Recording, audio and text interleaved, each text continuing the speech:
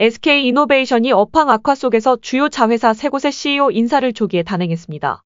유가와 정제 마진 하락으로 대규모 적자가 예상되며 이로 인해 재무구조 역시 악화된 상황에서 조직 쇄신과 재무구조 개선을 목표로 새로운 리더십을 세운 것입니다.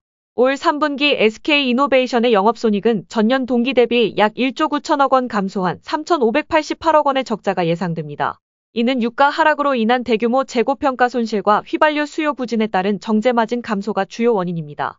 재무구조도 악화되어 유동부채는 29조 7,430억 원에 달하며 이자 비용과 환율 변동으로 인한 외환차손 등 금융원가 부담이 커지고 있습니다. 반면 이를 감당할 현금성 자산은 13조 1,536억 원으로 넉넉지 않은 상황입니다. 현금 흐름도 좋지 않습니다.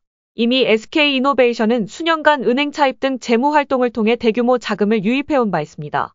특히 2022년부터는 자본적 지출 규모가 6조 원을 넘어서면서 잉여 현금 흐름 또한 6조 원 이상의 적자가 났습니다. 이로 인해 회사는 2022년 10조 원, 지난해에는 9조 원이 넘는 자금을 재무 활동을 통해 유입했습니다. 이런 상황 속에서 SK이노베이션은 이번 인사에서는 SK에너지, SK지오센트릭, SKI 테크놀로지의 사장직을 교체했습니다. 3명의 자회사 사장 모두 기술 및 현장 경험이 풍부한 이공계 출신 전문가들로 구성되었습니다.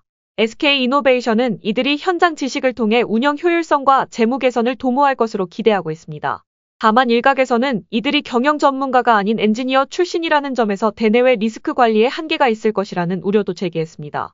이에 대해 SK이노베이션 측은 정유화학 업계는 현장에서의 비용 절감과 운영 최적화가 중요해 기술 전문가를 선임하는 것이 효과적 이라고 밝혔습니다. 업계 관계자들 또한 기술적 경험이 풍부한 인사들의 선임이 회사의 효율적 운영을 위한 적절한 선택이라는 평가를 내렸습니다.